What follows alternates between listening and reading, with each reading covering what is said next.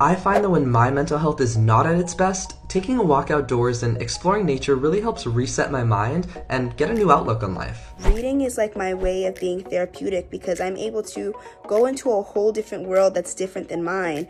If I am feeling a comfortable or uncomfortable feeling, I allow myself to sit with those feelings and feel them to their fullest capacity. The primary way that I support my own mental health is by working on advocating for myself in the same way that I advocate for others. If I do need that extra support, I am my own best advocate and I know how to ask for help if I need it. And through doing that, I am being kind to myself and respecting my own well-being. By taking a proactive approach to my own mental health, I feel like I'm equipping myself with the tools I need to face any challenges that come my way.